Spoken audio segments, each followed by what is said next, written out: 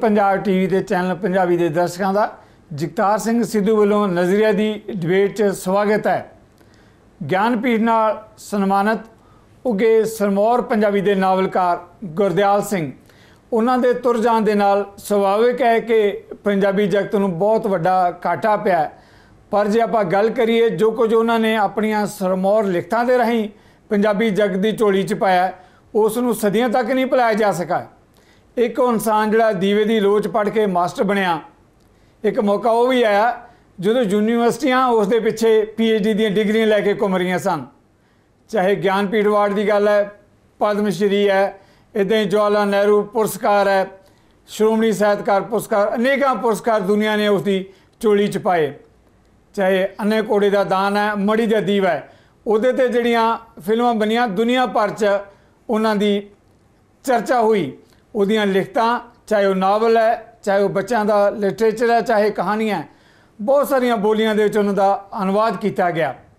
ਇਸ ਮੌਕੇ ਦੇ ਉੱਤੇ ਉਹਨਾਂ ਨਾਲ ਚਰਚਾ ਚਾਉਣ ਦੇ ਲਈ ਜਿਹੜੇ ਸਾਡੇ ਖਾਸ ਮਹਿਮਾਨ ਸਾਡੇ ਨਾਲ ਅੱਜ ਪੈਨਲ ਤੇ ਹਾਜ਼ਰ ਨੇ, ਜੰਗ ਬਹਾਦਰ ਗੋਲ ਸਾਬਕਾ ਆਈਐਸ ਗੋਇਲ ਸਾਹਿਬ ਬਾਰੇ ਮੈਂ ਆਪਣੇ ਦਰਸ਼ਕਾਂ ਨੂੰ ਇਹ ਕਹਿਣਾ ਚਾਹਾਂਗਾ ਕਿ ਗੋਇਲ ਸਾਹਿਬ, ਉਸ ਛੋਟੇ ਜਿਹੇ ਕਸਬੇ, ਜੈਤੋ ਦੇ ਬਲਕਿ ਉਸ ਗਲੀ ਦੇ ਰਹਿਣ ਵਾਲੇ ਹੈ ਜਿੱਥੇ ਸਰਦਾਰ ਗੁਰਿਆਲ ਸਿੰਘ ਦਾ ਮਕਾਨ ਹੈ ਔਰ ਇਹਨਾਂ ਦੀ ਇੱਕ ਬਹੁਤ ਲੰਬੀ ਸਾਂਝ ਹੈ। ਮੈਂ ਇਹ ਵੀ ਸੰਖੇਪ ਦੇ ਵਿੱਚ ਕਹਿਣਾ ਚਾਹਾਂਗਾ ਕਿ ਸ਼ਾਇਦ ਗੁਰਦਿਆਲ ਸਿੰਘ ਦੇ ਨਾਲ ਜਿਹੜੀ ਕੋਈ ਆਖਰੀ ਇੰਟਰਵਿਊ ਕੀਤੀ ਗਈ ਹੈ, ਉਹ ਗੋਇਲ ਸਾਹਿਬ ਵੱਲੋਂ ਹੀ ਕੀਤੀ ਗਈ ਹੈ। ਇਸੇ ਤਰੀਕੇ ਨਾਲ ਮੇਰੇ ਨਾਲ ਦੂਜੇ ਜਿਹੜੇ ਸਰਮੌਰ ਕਦਾਵਰ ਪੰਜਾਬੀ ਦੇ ਲੇਖਕ ਜਸਵੀਰ ਭੁੱਲਰ, ਉਹ ਵੀ ਹਾਜ਼ਰ ਨੇ। ਮੈਂ ਦੋਨੇ ਵਿਦਵਾਨਾਂ ਨੂੰ ਪੈਨਲ ਤੇ ਆਉਣ ਦੇ ਲਈ ਜੀ ਆਖਦਾ ਗੁਲ ਸਾਹਿਬ ਜਦੋਂ ਆਪਾਂ ਗੱਲ ਕਰਦੇ ਆਂ ਸਾ ਗੁਰਦਿਆਲ ਸਿੰਘ ਦੀ ਤੁਸੀਂ ਅੱਜ ਮੀਡੀਆ ਦੇ ਅੰਦਰ ਜੋ ਕੁਝ ਉਹਨਾਂ ਬਾਰੇ ਚਰਚਿਤ ਲਿਖਿਆ ਉਹਦੇ 'ਚ ਇੱਕ ਕਮੈਂਟ ਬੜਾ ਖੂਬਸੂਰਤ ਕੀਤਾ ਹੈ ਕਿ ਉਸ ਨੂੰ ਤੁਸੀਂ ਮਾਰੂਥਲ ਦਾ ਸੁਨਹਿਰਾ ਗੁਲਾਬ ਕਿਹਾ ਹੈ। ਕੀ ਵਜ੍ਹਾ ਹੈ ਕਿ ਤੁਸੀਂ ਇਸ ਤਰ੍ਹਾਂ ਤੁਲਨਾ ਕੀਤੀ ਹੈ ਉਹਨਾਂ ਦੀ?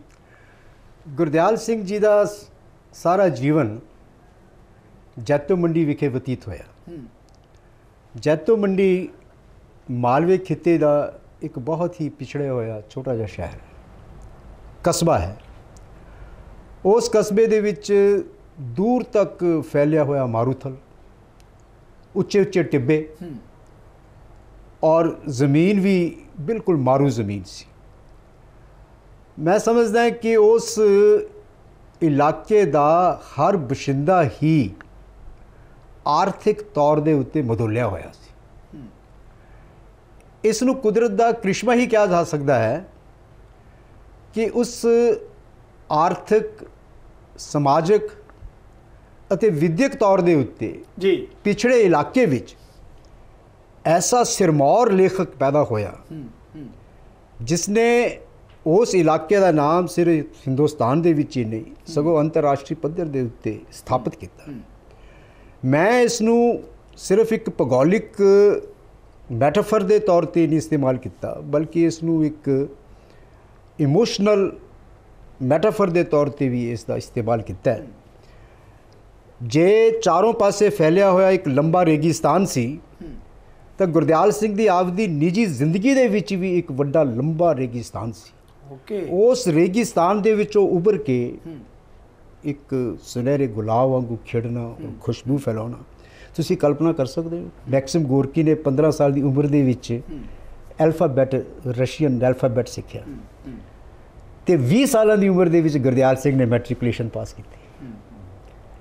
20 ਸਾਲਾਂ ਦੀ ਉਮਰ ਦੇ ਪੰਜਵੀਂ ਕਲਾਸ ਦੇ ਵਿੱਚੋਂ ਉਹਨਾਂ ਦੇ ਪਿਤਾ ਜਗਤ ਸਿੰਘ ਨੇ ਉਹਨਾਂ ਨੂੰ ਸਕੂਲੋਂ ਹਟਾ ਲਿਆ। ਸਕੂਲੋਂ ਹਟਾ ਕੇ ਉਹਨਾਂ ਨੂੰ ਆਪਦੇ ਪਿਤਾ ਪੁਸ਼ਤੀ ਕਿਸ਼ਤੇ ਦੇ ਵਿੱਚ ਪਾਲਿਆ ਗੁੱਲੀਆਂ ਕਾੜ ਪਈਏ ਬਣਾ ਤੇ ਲੋਹਾਰੀ ਦਾ ਕੰਮ ਵੀ ਨਾਲ ਕਰਦੇ ਸੀ। ਤੇ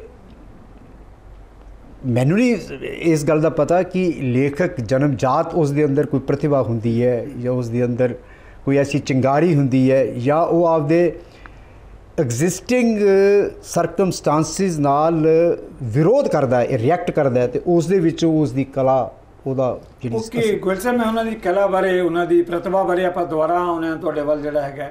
ਪੁਲਿਸ ਸਾਹਿਬ ਜਿੱਦਾਂ ਜੰਗ ਬਹਾਦਰ ਗੋਇਲ ਜੀ ਨੇ ਇਹਨਾਂ ਮੁੱਦਿਆਂ ਦੇ ਉੱਤੇ ਗੱਲ ਕੀਤੀ ਹੈ, ਜਿਹੜਾ ਉਹਨਾਂ ਨੇ ਕਿਹਾ ਵੀ ਕਿਸ ਤਰ੍ਹਾਂ ਸਾ ਗਿਰਿਆਲ ਸਿੰਘ ਦੀ ਪਰਸਨੈਲਿਟੀ ਜਿਹੜੀ ਹੈ ਕਿਦਾਂ ਉਹ ਰੇਗਿਸਤਾਨ ਮਾਰੂਥਲ ਦੇ ਵਿੱਚੋਂ। ਤੁਸੀਂ ਉਹਨਾਂ ਦੇ ਵਿਅਕਤੀਤਵ ਬਾਰੇ ਕੋਈ ਯਾਦ ਹੈ ਜਿਹੜੀ ਗੱਲ ਸਾਡੇ ਨਾਲ ਸਾਂਝੀ ਕਰਨੀ ਚਾਹੋ? ਮੈਨੂੰ ਇੱਕ ਗੱਲ ਬੜੀ ਕਮਾਲ ਲੱਗਦੀ ਹੈ ਕਿ ਜਿਹੜਾ ਮਾਹੌਲ ਸੀ ਗੁਰਦਿਆਲ ਸਿੰਘ ਹੋਰਾਂ ਦਾ ਉਹ ਕਲਾ ਵਾਸਤੇ ਸਾਜ਼ਗਾਰ ਨਹੀਂ ਸੀ। ਉਹ ਲਿਟਰੇਚਰ ਵਾਸਤੇ ਸਾਜ਼ਗਾਰ ਨਹੀਂ ਸੀ। ਓਕੇ ਉਹ ਕਿਸੇ ਵੀ ਕੋਮਲ ਕਲਾ ਵਾਸਤੇ ਸਾਜ਼ਗਾਰ ਨਹੀਂ ਸੀ। ਲੇਕਿਨ ਮੈਂ ਬੜਾ ਹੈਰਾਨ ਹੋਇਆ ਜਦੋਂ ਮੈਂ ਜਾਣਿਆ ਕਿ ਗੁਰਦਿਆਲ ਸਿੰਘ ਹੁਰਾ ਪਹਿਲਾਂ ਚਿੱਤਰਕਾਰੀ ਸ਼ੁਰੂ ਕੀਤੀ। ਔਰ ਉਸ ਇਲਾਕੇ ਵਿੱਚ ਜਿੱਥੇ ਚਿੱਤਰਕਾਰ ਹੀ ਨਹੀਂ ਹੈਗਾ ਜਿੱਥੇ ਬੁਰਸ਼ ਹੈ ਨਹੀਂ ਰੰਗ ਹੈ ਨਹੀਂਗੇ ਔਰ ਕੁਦਰਤ ਨੇ ਵੀ ਰੰਗ ਖੋਏ ਹੋਏ ਆ ਉਸ ਸਾਰੇ ਮਾਹੌਲ ਤੋਂ। ਜੀ ਬਿਲਕੁਲ। ਉੱਥੇ ਉਹਨਾਂ ਚਿੱਤਰਕਾਰੀ ਸ਼ੁਰੂ ਕੀਤੀ। ਔਰ ਫਿਰ ਉਹ ਜਿਹੜੇ ਅੰਦਰ ਉਹਨਾਂ ਦੇ ਕੋਮਲ ਕਲਾਵਾਂ ਜਿਹੜੀਆਂ ਉਸਲਵਟ ਭੰਨ ਰਹੀਆਂ ਸੀ ਉਹ ਸ਼ਾਇਦ ਉਹਨਾਂ ਨੂੰ ਉੱਥੇ ਲੱਗਾ ਕਿ ਗੁਰਦੁਆਰੇ ਵਿੱਚ ਕੀਰਤਨ ਕਰਨਾ ਜਿਹੜਾ ਉਹ ਵੀ ਇੱਕ ਤਰ੍ਹਾਂ ਜੁੜਨਾ ਕ੍ਰੀਏਟੀਵਿਟੀ ਨਾਲ ਸਿਰਜਣਾ ਨਾਲ ਜੁੜਨਾ। ਔਰ ਗੰਗਸਰ ਗੁਰਦੁਆਰੇ ਜੈਤੋ ਵਿੱਚ ਉਹ ਕੀਰਤਨ ਕਰਦੇ ਰਹੇ। ਔਰ ਅਧਿਆਪਕ ਤਾਂ ਉਹ ਉਹ ਕਿੱਤਾ ਉਹਨਾਂ ਬਾਅਦ ਵਿੱਚ ਅਧਿਆਪਕ ਦਾ ਓਕੇ ਓਕੇ ਮੇਰਾ ਖਿਆਲ ਗੋਇਲ ਸਾਹਿਬ ਕੁਝ ਕਹਿਣਾ ਚਾਹੁੰਦੇ ਪੁਲਿਸ ਸਾਹਿਬ ਮੈਂ ਇੱਥੇ ਗੱਲ ਜੋੜਨਾ ਚਾਹਣਾ ਉਹਨੇ ਦੀ ਜਿਹੜੀ ਪਹਿਲੀ ਪਹਿਲੀ ਜਿਹੜੀ ਕਿਰਤ ਹੈ ਜਿਹੜੀ ਉਹਨਾਂ ਦੀ ਕਲਮ ਚੋਂ ਨਿਕਲੀ ਹਾਂਜੀ। ਉਹ ਗੰਗ ਸਰ ਦੀ ਸ਼ਹੀਦ ਕਿਤਾਬ ਸੀ। ਓਕੇ। ਜਿਹੜੀ ਕਿ ਬਹੁਤ ਘੱਟ ਪਾਠਕਾਂ ਨੂੰ ਪਤਾ ਹੈ। ਉਹਨਾਂ ਨੇ ਇੱਕ ਲਿਖਿਆ ਉਹ ਸੀ ਗੰਗ ਸਰ ਦੇ ਸ਼ਹੀਦ। ਉਸ ਤੋਂ ਬਾਅਦ ਮੈਨੂੰ ਮੈਂ ਬਚਪਨ ਦੇ ਵਿੱਚ ਚੌਥੀ ਪੰਜਵੀਂ ਕਲਾਸ ਚ ਪੜ੍ਹਦਾ ਸੀ। ਹਾਂਜੀ ਹਾਂਜੀ। ਗੁਰਬਚਨ ਪੁੱਲਰ ਹੋਰੀ ਮੇਰੇ ਵੱਡੇ ਭਰਾ ਪ੍ਰੇਮ ਭੂਸ਼ਣ ਗੋਇਲ ਤੇ ਗੁਰਦਿਆਲ ਸਿੰਘ ਦੀਪਕ ਜਤੋਈ। ਇਹਨਾਂ ਚਾਰਾਂ ਪੰਜਾਂ ਉੱਥੇ ਲੋਕਲ ਲੇਖਕ ਸੀਗੇ। ਤੇ ਇਹਨਾਂ ਨੇ ਇੱਕ ਵਾਲ ਮੈਗਜ਼ੀਨ ਸਟਾਰਟ ਕੀਤਾ ਸੀ ਉਹਦਾ ਨਾਂ ਹੀ ਸੱਗੀ ਫੁੱਲ ਰੱਖਿਆ ਸੀ। ਓਕੇ। ਅੱਛਾ। ਤਾਂ ਉਹ ਸੱਗੀ ਫੁੱਲ ਵਾਲ ਵਾਲ ਮੈਗਜ਼ੀਨ ਕਹਿੰਦੇ ਹਾਂ ਹਾਂ ਹਾਂ। ਅਹ, ਗੁਰਦਿਆਲ ਸਿੰਘ ਦਾ ਹੈਂਡਰਾਈਟਿੰਗ ਕੈਲੀਓਗ੍ਰਾਫਿਕ ਜਿੱਦਾਂ ਸੋਹਣਾ ਆਰਟਿਸਟ ਸੀਗੇ। ਦਿਖਾਈ ਬਹੁਤ ਸੋਹਣੀ ਹੁੰਦੀ ਐਸ ਐਸ ਪਦਮ ਹੋਰਾਂ ਤੋਂ ਉਹਨਾਂ ਨੇ ਡਰਾਇੰਗ ਦੀ ਪੇਂਟਿੰਗ ਸਿੱਖੀ। ਅੱਛਾ। ਔਰ ਉਹਦੇ ਨਾਲ ਉਹ ਸੱਗੀ ਫੁੱਲ ਬਣਾ ਕੇ ਤੇ ਉਸ ਦੇ ਕੈਲੀਓਗ੍ਰਾਫਿਕ ਢੰਗ ਦੇ ਨਾਲ ਰਚਨਾਵਾਂ ਦੀਪਕ ਜਤੋਈ ਦੀਆਂ ਉਹਨਾਂ ਸਾਰਿਆਂ ਦੀਆਂ। ਤੇ ਉਹਨਾਂ ਨੇ ਉਹ ਕਰਸਾਲਾ ਉਹਨਾਂ ਦੇ। ਅੰਦਰ ਜਿਹੜੀਆਂ ਕੋਮਲ ਕਲਾਵਾਂ ਜਿਹੜੀਆਂ ਉਹ ਅੱਛਾ ਇਹ ਗੋਇਲ ਸਾਹਿਬ ਜਿਹੜਾ ਉਹਨਾਂ ਦਾ ਜੀਵਨ ਬਿਉਰਾ ਜਿੱਥੇ ਵੀ ਕਿਤੇ ਹੁੰਦਾ ਨਾ ਜੀ। ਆਪਾਂ ਗੰਗਸਰ ਦੇ ਸ਼ਹੀਦ ਕਿਤਾਬ ਨਹੀਂ ਗਿਣਦੇ ਉੱਥੇ ਸੱਗੀ ਫੁੱਲ ਉੱਥੇ ਉਹ ਦੇਖੋ, ਸੱਗੀ ਫੁੱਲ ਕਰਕੇ ਜਿਹੜੀ popular ਜਿਹੜੀ ਕਹਾਣੀਆਂ ਦੇ ਤੌਰ ਤੇ। ਕਹਾਣੀਆਂ ਦੀ ਕਿਤਾਬ ਪਹਿਲੀ ਸੱਗੀ ਆਪਾਂ ਹਾਂ। ਉਹ ਕਿਤੇ ਮਜ਼ਮੂਨ ਤਾਂ ਨਹੀਂ ਸੀ ਉਹ? ਦਰਅਸਲ ਗੰਗਸਰ ਦੇ ਉਸ ਤੋਂ। ਬਾਅਦ ਉਹਨਾਂ ਨੇ ਬਾਲ ਸੰਦੇਸ਼ ਦੇ ਵਿੱਚ ਬਕਲਮ ਖੁਦ ਲਿਖਣਾ ਸ਼ੁਰੂ ਕੀਤਾ ਬੱਚਿਆਂ ਵਾਸਤੇ। ਹੂੰ। ਮੈਂ ਗੁਰਦਿਆਲ ਸਿੰਘ ਨੂੰ ਬਚਪਨ ਤੋਂ ਪਿਆਰ ਕਰਨ ਲੱਗਿਆ ਉਹਨਾਂ ਦੀ ਬਕਲਮ ਖੁਦ ਕਰਕੇ। ਓਕੇ। ਉਹ ਬਕਲਮ ਖੁਦ ਉਹ- ਐਸਾ ਉਹਨਾਂ ਨੇ ਇੱਕ ਪਾਤਰ ਮੈਂ ਸਮਝਦਾ ਜਿੱਦਾਂ ਡਿਕਨਸ ਨੇ ਪਿਕਵਿਕ ਪੇਪਰਸ ਦੇ ਵਿੱਚ ਇੱਕ ਪਾਤਰ ਕ੍ਰੀਏਟ ਕੀਤਾ। ਤਾਂ ਉਦਾਂ ਹੀ ਉਹਨਾਂ ਨੇ ਬਕਲਮ ਖੁਦ ਦੇ ਵਿੱਚ ਪਾਤਰ ਕ੍ਰੀਏਟ ਕੀਤਾ ਜੋ ਆਪ- ਇੱਕ ਚਿੱਠੀ ਲਿਖਦਾ ਬਕਲਮ ਖੁਦ ਇੱਕ ਬੱਚਾ। ਔਰ ਉਸ ਦੇ ਵਿੱਚ ਉਹ ਆਪਦੀ ਜ਼ਿੰਦਗੀ ਦੀ ਕੋਈ ਨਾ ਕੋਈ ਘਟਨਾ ਐਸੀ ਮਾਰਮਿਕ ਘਟਨਾ ਵਰਤਾਂਤ ਕਰਦਾ ਕਿ ਹ- ਅੱਖਾਂ 'ਚ ਹੰਝੂ ਆਉਂਦੇ 1955 ਸ਼ਾਇਦ ਜਾਂ 1957 ਚ ਪਹਿਲੇ ਵਾਰੀ ਇਹਨਾਂ ਦੀ ਕਹਾਣੀ ਪੰਜ ਦਰਿਆ ਛਪੀ। ਹੂੰ। ਭਾਗਾਂ ਵਾਲੀ ਸੀ। ਓਕੇ। ਤਾਂ ਗੁਲਸ਼ਨ ਜਦੋਂ ਆਪਾਂ ਬੱਚਿਆਂ ਦੀ ਗੱਲ ਕਰਦੇ ਆਂ ਜਿਹੜਾ ਹੈਗਾ ਜਸਵੀਰ ਪੁੱਲਰ ਤੁਹਾਡੇ ਨਾਲੋਂ ਵੱਧ ਜਦੋਂ ਬੱਚਿਆਂ ਦੇ ਲਿਟਰੇਚਰ ਦੀ ਗੱਲ ਕਰਦੇ ਮੇਰਾ ਖਿਆਲ ਸਾਡੇ ਕੋਲੇ ਹੋਰ ਆਥੈਂਟਿਕ ਪਰਸਨੈਲਿਟੀ ਕਿਹੜੀ ਹੋ ਸਕਦੀ ਹੈ? ਗੁਰਦਿਆਲ ਸਿੰਘ ਉਹਨਾਂ ਨੇ ਬੱਚਿਆਂ ਦੇ ਉੱਤੇ ਜਿੱਦਾਂ ਲਿਖਿਆ ਉਹਦੇ ਬਾਰੇ ਤੁਸੀਂ ਕੀ ਕਹਿਣਾ ਚਾਹੋਗੇ? ਇਹ ਇੱਕ ਤਾਂ ਬੱਚਿਆਂ ਬਾਰੇ ਜਿਹੜੀ ਉਹਨਾਂ ਦੀ ਪਹਿਲੀ ਰਚਨਾ ਬਕਲਮ ਖੁਦ। ਬਾਲ ਸੰਦੇਸ਼ ਵਿੱਚ ਕਿਸ਼ਤਵਾਰ ਸ਼ਬਦ ਸੀਗੀ। ਲੋਕ ਉਹਨੂੰ ਉਡੀਕਦੇ ਸੀ। ਟੁੱਕ ਖੋਲੇ ਕਾਵਾਂ ਵੀ ਹੈ ਉਹਨਾਂ ਦੀ। ਟੁੱਕ ਖੋਲੇ. ਕਾਵਾਂ ਇੱਕ ਉਹ ਬਾਬਾ ਖੇਮਾ ਬਾਬਾ ਖੈਮਾ। ਉਹ ਕਿਤਾਬਾਂ ਤਿੰਨ ਬੜੀਆਂ ਚਰਚਿਤ ਨੇ ਹੋਰ ਵੀ ਕਿਤਾਬਾਂ ਨੇ। ਓਕੇ। ਔਰ ਉਹਦੇ ਚ ਕਮਾਲ ਦੀ ਗੱਲ ਜਿਹੜੀ ਮੈਨੂੰ ਲੱਗਦੀ ਆ ਉਹ ਭਾਸ਼ਾ ਜਿਹੜੀ ਹੈ ਨਾ ਬਕਲਮ ਖੁਦ ਦੀ ਭਾਸ਼ਾ ਉਹ ਸਾਡੇ ਲਈ ਬੜੀ ਨਵੀਂ ਤੇ ਬੜੀ ਤਾਜ਼ਗੀ ਵਾਲੀ ਭਾਸ਼ਾ ਸੀ ਖਾਸ ਕਰਕੇ ਜਿਹੜੇ ਮਾਝੇ ਦੇ ਲੋਕ ਨੇ ਜਿਹੜੇ ਮਾਲਵਾ ਡਾਇਲੈਕਟ ਜਿਹੜਾ ਉਹ ਭਾਸ਼ਾ ਸੀ ਉਹਦੇ ਨਾਲ ਵਾਬਸਤਾ ਨਹੀਂ ਸੀਗੇ ਔਰ ਪ੍ਰਵਾਨਗੀ ਨਹੀਂ ਸੀ ਉਸ ਭਾਸ਼ਾ ਨੂੰ। ਲਿਖਣ ਵਾਸਤੇ ਜਿਹੜੀ ਸਾਡੇ ਕੋਲ ਭਾਸ਼ਾ ਜਿਹੜੀ ਮੰਨੀ ਜਾਂਦੀ ਸੀ ਟਕਸਾਲੀ ਉਹ ਮਾਝੀ ਭਾਸ਼ਾ ਸੀਗੀ। ਜੀ। ਤੇ ਔਰ ਪਹਿਲੀ ਵਾਰੀ ਮਾਨਤਾ ਜਿਹੜੀ ਆ ਉਹਨਾਂ ਦੀ ਉਹ ਬਾਲ ਸਾਹਿਤ ਦੀਆਂ ਲਿਖਤਾਂ ਜਿਹੜੀਆਂ ਜਦੋਂ ਸਾਹਮਣੇ ਆਈਆਂ ਕਹਾਣੀਆਂ ਤਾਂ ਬਾਅਦ ਵਿੱਚ ਆਈਆਂ। ਉਹ ਬਾਲ ਸਾਹਿਤ ਦੀਆਂ ਜਦੋਂ ਲਿਖਤਾਂ ਸਾਹਮਣੇ ਆਈਆਂ ਉਹਦੇ ਤੇ ਉਹ- ਅਸਲ ਚ ਪ੍ਰਵਾਨਗੀ ਜਿਹੜੀ ਸਾਹਿਤ ਵਾਸਤੇ ਲਿਖਤ ਵਾਸਤੇ ਪ੍ਰਗਟਾਵੇ ਵਾਸਤੇ ਮਲਵਈ ਭਾ- ਉਹ ਭਾਖਾ ਨੂੰ ਬਾਲ। ਸਾਹਿਤ ਨੇ ਦਵਾਈ। ਬਾਲ ਸਾਹਿਤ ਨੇ ਤੇ ਗੁਰਦਿਆਲ ਸਿੰਘ ਨੇ। ਜੀ ਜੀ। ਗੁਲ ਜੀ ਤੁਸੀਂ ਕਮੈਂਟ ਕਰਨਾ ਚਾਹੁੰਦੇ ਹੋ? ਮੈਂ ਉਹ- ਉਹਨਾਂ ਦੀ ਜਦੋਂ ਪਹਿਲੀ ਕਹਾਣੀ ਛਪੀ ਪੰਜ ਦਰਿਆ ਦੇ ਵਿੱਚ ਮੈਂ ਉਹਨਾਂ ਦੇ ਨਾਲ ਸੈਰ ਕਰਨ ਜਾ ਰਿਹਾ। ਮੇਰੀ ਉਮਰ ਉਸ ਵੇਲੇ 9 ਜਾਂ 10 ਸਾਲ ਦੀ ਸੀ ਪਰ ਸਾਹਿਤ ਨਾਲ ਮੈਂ ਬਹੁਤ ਉਦੋਂ ਵੀ ਮੈਂ ਮੁਨਸ਼ੀ ਪ੍ਰੇਮ ਚੰਦ ਦੀਆਂ ਕਹਾਣੀਆਂ ਤੇ ਇਹਨਾਂ ਨੂੰ. ਪੜ੍ਹਦਾ ਸੀਗਾ। ਤੇ ਮੈਨੂੰ ਮੈਂ ਮੈਨੂੰ ਕਹਿੰਦੇ ਸੀ ਕਿ ਵੀ ਇਹ ਉਮਰ ਤੋਂ ਉਮਰ ਤੋਂ ਪਹਿਲਾਂ ਸਿਆਣਾ ਬੱਚਾ ਹੋਇਆ ਤਾਂ ਗੁਰਦਿਆਲ ਸਿੰਘ ਨੇ ਮੈਨੂੰ ਜਾਂਦੇ ਜਾਂਦੇ ਸੈਰ ਕਰਦੇ ਕਰਦੇ ਵੱਡੇ ਸੂਏ ਤੇ ਗੱਲ ਦੱਸੀ ਵੀ ਜਦੋਂ ਮੈਂ ਪ੍ਰੋਫੈਸਰ ਮੋਹਨ ਸਿੰਘ ਨੂੰ ਕਹਾਣੀ ਭੇਜੀ ਪਹਿਲੀ ਤਾਂ ਉਹਨਾਂ ਨੇ 10 ਅੱਖਰਾਂ ਦੇ ਉੱਤੇ ਲਾਲ ਸਿਆਹੀ ਨਾਲ ਗੋਲ ਦਾਇਰੇ ਮਾਰ ਕੇ ਭੇਜੇ। ਵੀ। ਪਹਿਲਾਂ ਮੈਨੂੰ ਤੁਸੀਂ ਇਹਨਾਂ ਦਾ ਮੈਨਾ ਦੱਸ ਤੇ ਫਿਰ ਮੈਂ ਛਾਪਾਂਗਾ ਹੈ ਕਿ ਹਾਂ, ਵਕਤ ਹੈ ਕਿ ਨਿੱਕੀ ਜੀ ਬ੍ਰੇਕ ਦਾ ਬ੍ਰੇਕ ਤੋਂ ਬਾਅਦ ਆਪਾਂ ਇਹਨਾਂ ਮੁੱਦਿਆਂ ਤੇ ਵਾਪਸ ਆ ਰਹੇ ਹਾਂ। ਨਜ਼ਰੀਆ ਦੀ ਡਿਬੇਟ ਦਰਸ਼ਕਾਂ ਦਾ ਮੁੜ ਇੱਕ ਵਾਰ ਸਵਾਗਤ ਹੈ। ਪੁਲਿਸ ਸਾਹਿਬ ਬ੍ਰੇਕ ਤੋਂ ਪਹਿਲਾਂ ਖਾਸ ਤੌਰ ਤੇ ਆਪਾਂ ਗੁਰਦਿਆਲ ਸਿੰਘ ਦੀ ਜਿਹੜੀਆਂ ਰਚਨਾਵਾਂ ਨੂੰ ਲੈ ਕੇ ਮੜੀ ਦਾ ਦੀਵਾ ਅੰਨੇ ਕੂੜੇਦਾਨ ਉਹਨਾਂ ਦੀ ਜਿਹੜੀਆਂ ਫਿਲਮਾਂ ਵੀ ਬੜੀਆਂ ਬੜੀਆਂ ਚਰਚਿਤ ਹੋਈਆਂ ਕੀ ਕਹੋਗੇ? ਇਹ ਬੜੀ ਕਮਾਲ ਦੀ ਗੱਲ ਹੈ ਕਿ Surinder Singh film and television institute of India the graduate ਉਹਨੂੰ ਪੰਜਾਬੀ ਲਿਟਰੇਚਰ ਪੜ੍ਹਨ ਦਾ ਅੰਗਰੇਜ਼ੀ ਦੀ ਐਮਏ ਸੀਗਾ ਉਹ ਲੇਕਿਨ ਪੰਜਾਬੀ ਲਿਟਰੇਚਰ ਪੜ੍ਹਨ ਦਾ ਸ਼ੌਕ ਸੀ। ਉਹ ਪ੍ਰਭਾਵਿਤ ਹੋਇਆ ਮੜੀ ਦੇ ਦੀਵੇ ਤੋਂ। ਅਨੇਕ ਘੋੜੇ ਦਾ ਦਾਨ ਤੋਂ ਵੀ ਉਹ ਪ੍ਰਭਾਵਿਤ ਹੋਇਆ ਲੇਕਿਨ ਉਹਨੂੰ ਕਮਾਲ ਦੀ ਗੱਲ ਇਹ ਸੀ ਕਿ ਦਲਤ ਪਾਤਰ ਜਿਹੜੇ ਆ ਉਹ ਪਹਿਲੀ ਵਾਰ ਪੰਜਾਬੀ ਸਾਹਿਤ ਵਿੱਚ ਨਾਇਕ ਦੇ ਤੌਰ ਤੇ ਦਲਤ ਪਾਤਰ ਜਿਹੜਾ ਉਹ ਸਾਡੇ ਸਨਮੁਖ ਪੁਲਿਸ ਸਾਹਿਬ ਬਿਲਕੁਲ ਇਹ ਗੱਲ ਬਹੁਤ ਉੱਭਰ ਕੇ ਸਾਹਮਣੇ ਆਈ ਕਿ ਗੁਰਦਿਆਲ ਸਿੰਘ ਦੀ ਬੜੀ ਵੱਡੀ ਕੰਟਰੀਬਿਊਸ਼ਨ ਹੈ ਕਿ ਦਲਿਤ ਹੀਰੋ ਜਿਹੜਾ ਸਾਡੇ ਲਿਟਰੇਚਰ 'ਚ ਉੱਭਰਿਆ ਔਰ ਦਲਤ ਦਲਤਾਂ ਵਾਸਤੇ ਜਿਹੜਾ ਉਹਨਾਂ ਦਾ ਸੋਚਣਾ ਉਹਨਾਂ ਦਾ ਮਹਿਸੂਸ ਕਰਨਾ ਉਹਨਾਂ ਦੇ ਦੁੱਖ ਸੁੱਖ ਨੂੰ ਆਤਮਸਾਤ ਕਰਕੇ ਬਿਆਨ ਕਰਨਾ ਜਿਹੜਾ ਉਹ ਨਾਲ ਬਾਕੀ ਨਾਵਲਾਂ ਵਿੱਚ ਹੀ ਆਪਾਂ ਦੇਖਦੇ ਆ ਜੀ, ਜੀ। ਤੇ ਆਪਾਂ ਕਹਿ ਸਕਦੇ ਵੀ ਦਲਤਾਂ ਦਾ ਮਸੀਹਾ ਸੀ ਉਹ ਸਾਹਿਤ ਦੇ ਵਿੱਚ। ਤੇ ਉਹਦਾ ਸਕ੍ਰਿਪਟ ਲਿਖੀ ਗੁਰਦਿਆਲ ਸਿੰਘ ਖੁਰਾ ਨੇ ਓਕੇ ਦਿੱਤੀ ਸੁਰਿੰਦਰ ਸਿੰਘ ਨੇ ਸਕ੍ਰਿਪਟ ਲਿਖੀ ਕੰਮ ਸ਼ੁਰੂ ਹੋ ਗਿਆ ਔਰ ਐਨਐਫਡੀਸੀ ਦੇ ਕੰਪੀਟੀਸ਼ਨ ਵਿੱਚ ਉਹ ਸਕ੍ਰਿਪਟ ਭੇਜੀ ਗਈ। ਉੱਥੇ ਦੂਜਾ ਨਾਮ ਉਸ ਸਕ੍ਰਿਪਟ ਨੂੰ ਮਿਲਿਆ। ਫਿਰ ਫਾਈਨਾਂਸ ਐਨਐਫਡੀਸੀ ਨੇ ਕਰਨਾ ਸੀ। ਉਹ ਕਹਿੰਦੇ ਨਹੀਂ ਫਾਈਨਾਂਸ ਅਸੀਂ ਨਹੀਂ ਕਰਾਂਗੇ ਕਿਉਂਕਿ ਸਾਡੇ ਜਿਹੜਾ ਸ਼ਰਤਾਂ ਨੇ ਉਹ ਪੂਰੀਆਂ ਨਹੀਂ ਕਰਦੀ। ਤੇ ਗੁਰਦਿਆਲ ਉਹ ਸਟੈਂਡ ਡਾਊਨ ਹੋ ਗਿਆ ਲੱਗਾ ਵੀ ਇਹ ਫਿਲਮ ਨਹੀਂ ਬਣ ਸਕਦੀ। ਫਿਰ ਗੁਰਦਿਆਲ ਸਿੰਘ ਹੋਣਾ ਨੇ ਚਿੱਠੀ ਲਿਖੀ ਰਿਸ਼ੀਕੇਸ਼ ਮੁਖਰਜੀ ਸ਼ਾਇਦ ਉਦੋਂ ਸੀਗੇ। ਜੀ। ਵੀ ਜਿਹੜੀ ਸਕ੍ਰਿਪਟ ਜਿਹੜੀ ਆ ਉਹ ਇਨਾਮ ਜਿੱਤਦੀ ਆ ਐਨਐਫਡੀਸੀ ਦਾ ਉਹ ਕਿਵੇਂ ਸੂਟੇਬਲ ਨਹੀਂ ਫਿਲਮ ਵਾਸਤੇ? ਤੇ ਉਹ ਉਦੋਂ ਫਿਰ ਇਹਨਾਂ ਦੇ ਦਖਲ ਅੰਦਾਜ਼ੀ ਨਾਲ ਅਸੈਪਟ ਹੋਈ। ਕਹਿਣ ਦੇ ਨਾਲ ਉਹ ਉਸ ਦਾ ਫਾਈਨਾਂਸ ਕੀਤਾ ਗਿਆ ਔਰ ਫਿਲਮ ਬਣੀ ਔਰ ਉਹਦਾ ਚਰਚਾ ਆਪਾਂ ਦੇਖਦੇ ਆ ਫਿਰ ਉਹ 100 ਸਿਨੇਮਾਸ ਕਿਤਾਬ ਦੇ ਵਿੱਚ ਜ਼ਿਕਰ ਹੈ ਇਸ ਫਿਲਮ ਦਾ ਉਹਨਾਂ 100 ਫਿਲਮਾਂ ਦੇ ਵਿੱਚ। ਤੇ ਫਿਰ ਇਨਸਾਈਕਲੋਪੀਡੀਆ ਫਿਲਮਾਂ ਦਾ ਜਿਹੜਾ ਉਹਦੇ ਵਿੱਚ ਉਹਦਾ ਜ਼ਿਕਰ ਹੈ। ਔਰ ਇਸੇ ਤਰ੍ਹਾਂ ਅੰਨੇ ਘੋੜੇ ਦਾ ਦਾਨ ਹੁਣੇ ਜੇ ਆਈ ਹੈ। ਔਰ ਉਹ ਕੁਮਾਂਤਰੀ ਲੈਵਲ ਤੇ ਵਿਸ਼ਵ ਮੇਲੇ ਦੇ ਵਿੱਚ। ਮੰਤਰੀ ਫਿਲਮ ਮੇਲੇ 'ਚ ਬੜੀ ਡਨ ਪੀਕਾਕ ਮਿਲਿਆ ਜੀ। ਓਕੇ ਬਿਲਕੁਲ। ਇਹ ਪਹਿਲੀ ਵਾਰੀ ਹੋਇਆ ਕਿ ਇਹ ਦੋ ਫਿਲਮਾਂ ਕਲਾ ਦੇ ਖੇਤਰ ਵਿੱਚ ਗਿਣੀਆਂ ਗਈਆਂ ਕਲਾ ਫਿਲਮਾਂ ਗਿਣੀਆਂ ਗਈਆਂ ਔਰ ਦੋਵੇਂ ਨਾਵਲ ਗੁਰਦਿਆਲ ਸਿੰਘ ਦੇ ਨੇ। ਬਿਲਕੁਲ ਕਮਾਲ ਦੀ ਹੈ, ਜਿਹੜੀ ਕੰਟਰੀਬਿਊਸ਼ਨ ਜਿਹੜੀ ਹੈ ਬਹੁਤ। ਗੁਲ ਜੀ ਜਦੋਂ ਆਪਾਂ ਉਹਨਾਂ ਦੀ ਕੰਟਰੀਬਿਊਸ਼ਨ ਦੀ ਗੱਲ ਕਰਦੇ ਹਾਂ ਮੈਂ ਉਹਦੇ ਨਾਲ ਤੁਹਾਡੇ ਜਾਤੀ ਤੌਰ ਤੇ ਜੋੜ ਕੇ ਕੁਐਸਚਨ ਕਰਨਾ ਚਾਹਾਂਗਾ ਕਿ ਤੁਹਾਡੇ ਬਿਲਕੁਲ ਕਰੀਬੀ ਜਿਹੜਾ ਹੈਗਾ ਹੈ ਖਾਨਦਾਨ ਦੇ ਵਿੱਚੋਂ ਜੈਤੋ ਦੀ ਇੱਕ ਗਲੀ ਦਾ ਨਾਂ ਸੀ ਮਿਹਰਚੰਦ ਮਾਰਗ। ਤੁਸੀਂ ਜਦੋਂ ਖੁਦ ਉੱਥੇ ਅਧਿਕਾਰੀ ਸੀ ਤਾਂ ਤੁਸੀਂ ਉਸ ਮਾਰਗ ਦਾ ਨਾਮ ਬਦਲ ਕੇ ਜਿਹੜਾ ਗਿਆਨਪੀਠ ਮਾਰਗ ਕਰਵਾਇਆ ਜਿਹੜਾ ਹੈਗਾ ਇਹਦੇ ਵਿੱਚ ਕੀ ਪਿਛੋਕੜ ਸੀ ਕਿਉਂ ਗਲੀ ਦਾ ਨਾਮ ਬਦਲਿਆ? ਇਹ ਸ਼ਾਇਦ ਜੇ ਮੈਂ ਯਾਦਦਾਸ਼ਤ ਮੇਰੀ ਸਹੀ ਹੈ ਤਾਂ 2000 ਸਨ 2000 ਦੀ ਗੱਲ ਹੈ। ਜੀ। ਮੈਂ ਉਹਨਾਂ ਦਿਨਾਂ ਦੇ ਵਿੱਚ ਡਾਇਰੈਕਟਰ ਲੋਕਲ ਗਵਰਨਮੈਂਟ ਸੀ। ਜੀ। ਤਾਂ ਇਹ ਸਮਾਚਾਰ ਜਦੋਂ ਆਇਆ ਕਿ ਗੁਰਦਿਆਲ ਸਿੰਘ ਹੋਰਾਂ ਨੂੰ ਗਿਆਨਪੀਠ ਪੁਰਸਕਾਰ ਮਿਲਿਆ ਹੈ ਤਾਂ ਮੈਨੂੰ ਤਾਂ ਇਸ ਤਰ੍ਹਾਂ ਲੱਗਿਆ ਕਿ ਜਿੱਦਾਂ ਮੈਨੂੰ ਖੁਦ ਹੀ ਗਿਆਨਪੀਠ ਅਵਾਰਡ ਮਿਲਿਆ ਤੇ ਸਾਡੀ ਸਾਰੀ ਜੱਤ ਹੀ ਸਨਮਾਨਿਤ ਹੋਈ ਹੈ। ਬਿਲਕੁਲ ਸੁਭਾਵਿਕ ਹੈ। ਸੁਭਾਵਿਕ ਹੈ। ਤਾਂ ਪੈਰ ਸਾਡੀ ਅੱਡੀ ਜਿਹੜੀ ਹੈਗੀ ਹੈ ਉਹ ਜ਼ਮੀਨ ਤੇ ਨਹੀਂ ਲੱਗਦੀ ਸੀ। ਬੜੀ ਖੁਸ਼ੀ ਹੋਈ।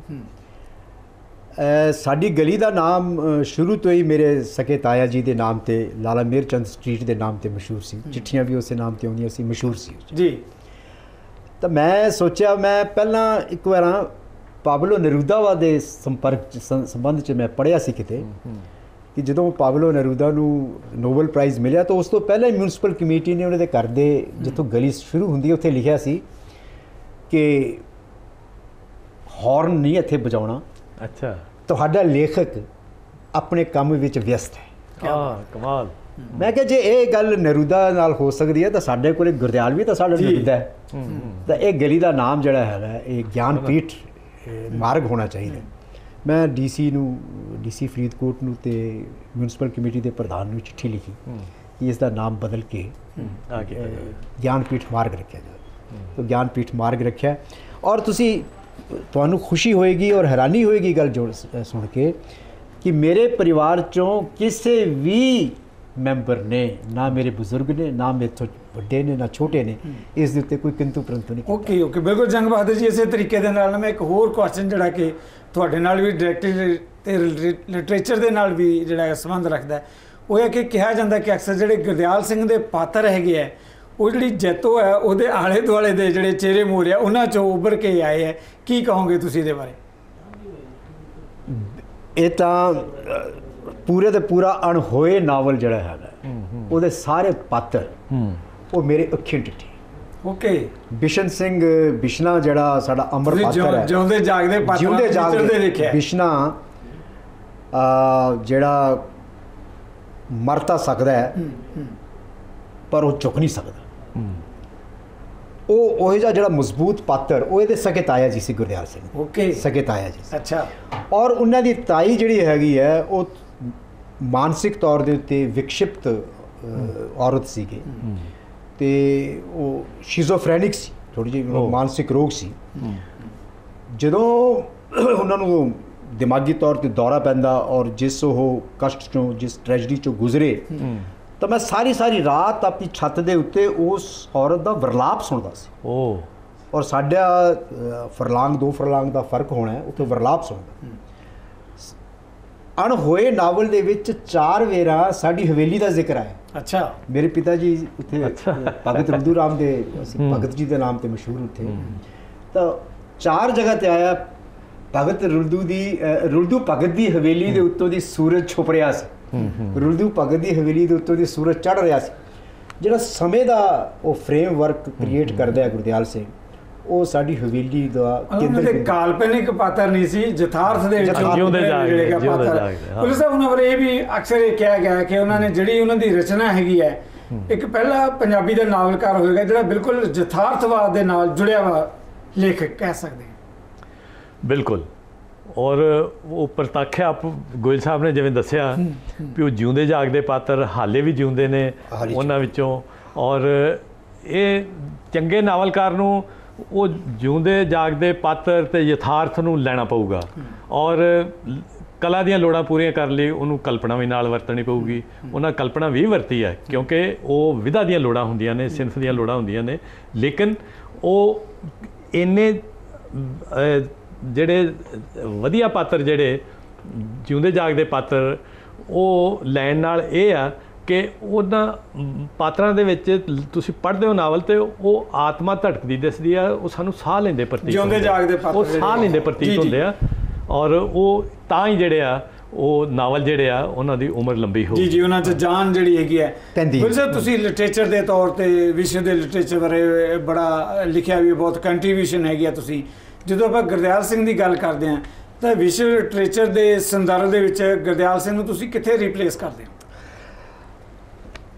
ਇਹ ਬੜੀ ਖੁਸ਼ੀ ਦੀ ਗੱਲ ਹੈ ਕਿ ਗੁਰਦਿਆਲ ਸਿੰਘ ਪੰਜਾਬੀ ਦੇ ਉਹਨਾਂ ਨਾਵਲਕਾਰਾਂ ਚੋਂ ਹੈ ਜਿਨ੍ਹਾਂ ਦਾ ਬਹੁਤ ਸਾਰਾ ਜਿਹੜਾ ਕੰਮ ਹੈ ਓਕੇ ਉਹ ਹੁਣ ਅੰਗਰੇਜ਼ੀ ਦੇ ਵਿੱਚ ਅਨੁਵਾਦਿਤ ਹੋ ਚੁੱਕੇ ਹਨ ਉਹ ਅਨੁਵਾਦ ਸਾਹਿਤ ਜਿਹੜਾ ਹੈਗਾ ਹੁਣ ਦੁਨੀਆ ਦੇ ਕੌਮਾਂਤਰੀ ਪਾਠਕਾਂ ਦੇ ਸਾਹਮਣੇ ਉਹ ਹੈਗਾ।